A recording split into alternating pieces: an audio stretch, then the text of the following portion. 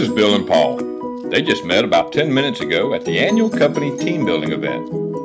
And right after this heated battle of beanbag bungee pull, Bill and Paul share a cotton candy and race a tricycle. Human resources and marketing just became friends. Corporate Events Unlimited, the bungee beanbag tricycle cotton candy friend makers. We do everything.